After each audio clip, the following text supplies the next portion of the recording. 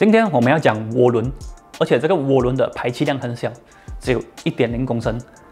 目前世界上很多的车商都在用这个一点零公升的涡轮增压引擎来取代原本排气量更大的一点五或者是一点六公升自然进气引擎。虽然说它的排气量很小，但是在涡轮增压以及缸内直喷两项技术的加持下，它们的马力就算不能够超越这个一点五或者一点六公升的自然进气引擎，最起码也能够持平了。所以今天的节目，我们来聊一聊一下一些已经在马来西亚或者是还没有引进马来西亚市场的一点零公升涡轮增压引擎。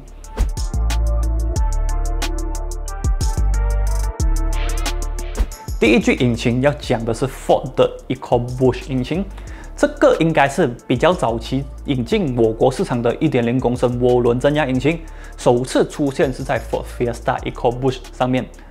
Fiesta 原本的操控表现就很出色了，在当年可以说是 B segment hatchback 之王，而在配备了这个1.0公升的 EcoBoost 引擎之后，更是如虎添翼。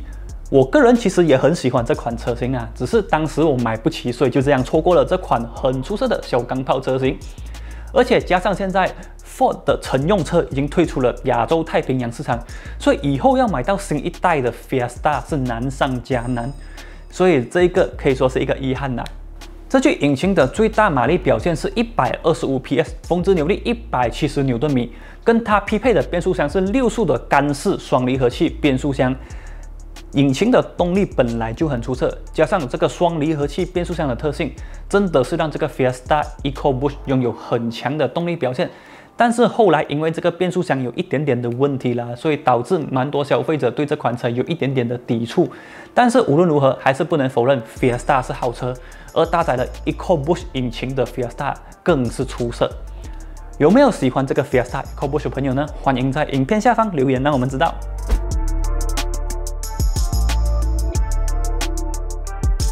第二句要讲的引擎就是 Volkswagen 的1.0 TSI 引擎。这个引擎目前马来西亚市场还看不到啦，可是，在国外的 Volkswagen 小型车上面，很多都已经搭载了这具引擎，例如 Volkswagen Up GTI，还有 Volkswagen Polo。这具引擎主要是取代这个1.2公升的 TSI 引擎。但是或许是马来西亚市场比较喜欢这个四缸引擎，所以目前马来西亚很多的佛水跟车款都还在采用一点二公升的 TSI 引擎。不过未来这具引擎可能也会没有了，因为 VPCM 已经不打算在我国销售十万块以下的车款了。也是因为这个理由，所以这个一点零公升 TSI 引擎未来应该没有什么机会引进我国市场。这具引擎的技术含量基本上和这个一点二公升的 TSI 引擎差不多。可是，在马力表现跟扭力表现，它出色了不少。因为不同的车型，它可以有不同的调教。在最大马力上面，它可以达到一百一十七 PS，峰值扭力则是达到两百牛顿米。这个两百牛顿米的扭力已经媲美了很多二点零公升的自然进气引擎，所以采用在 Polo 或者是 Up 这样的小型车，真的是绰绰有余。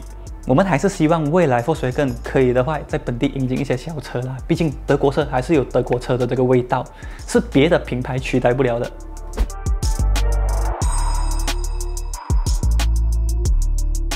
接下来要讲的就是来自 Suzuki 的1.0 Booster Jet，这个引擎主要主打的是低排放还有低油耗，所以在动力表现并没有太出色。在这个 Swiss 上面，它的最大马力表现是一百一十一 PS，峰值扭力一百七十牛顿米。在 Switch 这样小型车上面，这个马力表现都算不错了。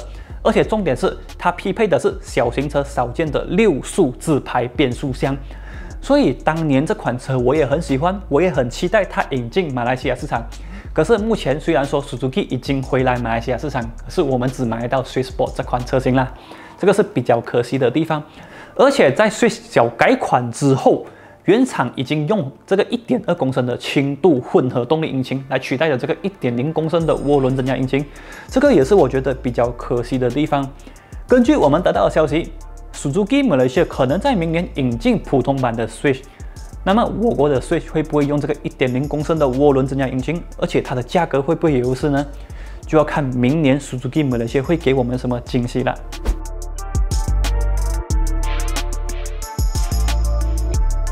第四具引擎就是买引擎送车的 Honda 1.0 VTEC Turbo 引擎。买引擎送车不是对 Honda 的一个贬义，而是赞扬它在引擎上面真的很强。这具1.0公升的 VTEC Turbo 引擎，目前已经有非常多的车款使用，例如一些中国特供车、欧洲版本的 Civic Hatchback、中国版本的 Civic Sedan，还有泰国版本的 City Turbo 都在采用这具引擎。同样的，因为不同的车型、不同的变速箱，引擎的输出也会有所不同。而且重点是它拥有 VTEC 技术，所以它在1.0公升的涡轮增压引擎里面，马力表现算是很出色的那一款。重点是它的油耗表现也一样出色，因为可以在欧洲贩售的引擎，如果排放法规过不了，怎么贩售呢？你说对不对？在欧洲版本的 CV Hatchback 上面，它的最大马力达到了一百三十 PS，峰值扭力两百牛顿米。可是，在泰国的 CD Hatchback 上面呢，或许是考虑到排放还有油耗，或者是车型的定位较低，所以马力和扭力都进行了调低。它的最大马力表现是一百二十二 PS，峰值扭力一百七十三牛顿米。根据泰国媒体的实际测试，CD Hatchback 的零到一百加速大概是十秒多一点点。老实说，这个加速表现和自然进气版本差不了多少，可是它的油耗表现方面还是非常的出色。未来这个1.0的 VTEC Turbo 引擎会不会有机会引进我国市场呢？我相信还是有的。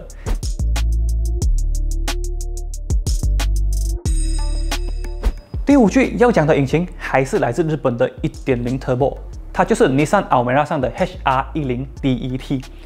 其实，Nissan 有两具1.0公升的涡轮增压引擎，一个是有缸内直喷技术，另外一个没有。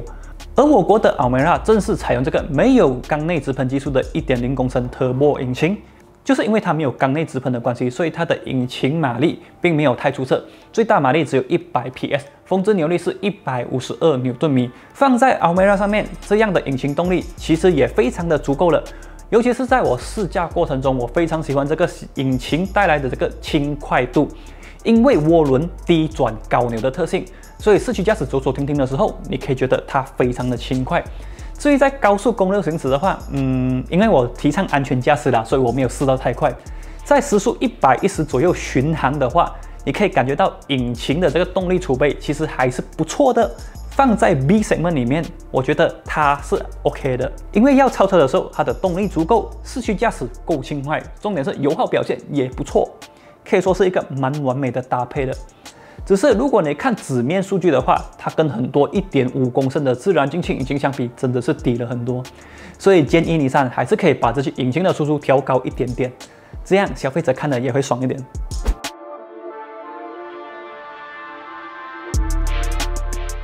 最后要讲的这具引擎还是来自日本的，也就是大家熟悉的 ADVA 的引擎 EKR VET。这具引擎跟 Almera 的引擎很接近。他们主打的都是低排放跟低油耗，所以它采用的是 MPI 多点喷射系统，而不是缸内直喷。它的马力和扭力表现也比起这个 Almera 低了一点点，最大马力是九十八 PS，峰值扭力一百四十牛顿米。可是匹配的是 Dual Mode CVT，所以它的加速表现也不会太差。根据我们的实际测试，它的动力表现基本上可以跟这个 Vios 的1.5自然进气 4AT 版本媲美。这具引擎，我觉得它最大的优势就是它的油耗。在我试驾这款车的期间，我获得的油耗大概是十五公里一公升。我觉得这样的油耗表现已经没有办法挑剔了。而且重点是，它是目前马来西亚市场最便宜的涡轮增压车款之一，而且也是最畅销的涡轮增压车款。所以你不能否认，Pro Duo 加上 Turbo 还是真的有它的魅力。你是不是已经订了 Altiva 这款车呢？欢迎你在影片下方留言你对 Altiva 的看法。从以上列出的引擎可以看到，不管是世界范围还是我国，未来基本上都是这个涡轮增压车款的天下了。所以未来还会不会有其他的一点零公升引擎引进呢？暂时是一个未知数，可是我相信还是会有的。不知道在荧幕前的朋友们，你们觉得自然进气引擎比较吸引你，还是涡轮增压引擎比较吸引你？都欢迎你跟我们分享你的看法。好了，以上这一期就是我们的节目内容啦。喜欢这次的影片，记得帮我们按赞、订阅、分享，分享是很重要的。